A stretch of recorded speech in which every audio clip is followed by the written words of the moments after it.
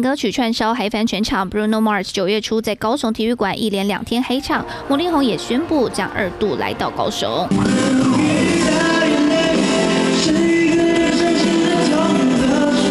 台北输人不输阵，找来天王天后助阵。周杰伦、张惠妹接连宣布年底站上大巨蛋。台北、高雄到底哪里才是台湾演唱会之都？我觉得还是高雄吧，因为场地比较大一点，交通都还蛮方便的。我觉得是高雄，因为最近好像很多国际的都会来高雄，或不是韩团啊，或是欧美的都会来高雄。台湾议题研究中心调查，近半年网络演唱会声量，讨论台北演唱会文章数量达六万八千多则，是讨论高雄文章数量的两倍。